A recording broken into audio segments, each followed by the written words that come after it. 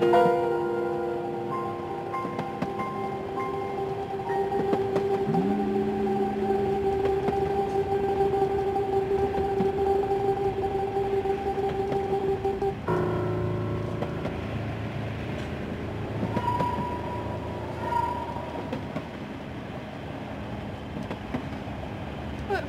vad sa du?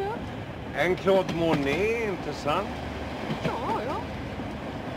Märkvärdigt.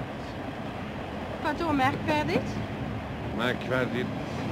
En sån välgjord kopia.